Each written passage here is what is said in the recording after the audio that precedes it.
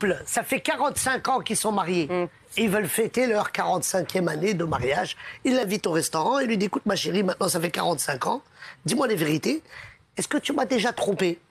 Sa femme, elle le regarde et dit Écoute, tu te rappelles la maison qu'on a achetée? Elle dit Oui, il fallait un crédit. Oui, bon, le crédit il a été refusé. Et une semaine après, il a été accepté. Elle dit Ouais, c'est chelou, le banquier est devenu gentil. Elle dit Bah voilà, j'ai couché avec le banquier. Le gars, il la regarde, il dit, bah, c'était la seule fois. Il dit non. tu te rappelles, tu t'es fait virer de ton travail. Il dit oui.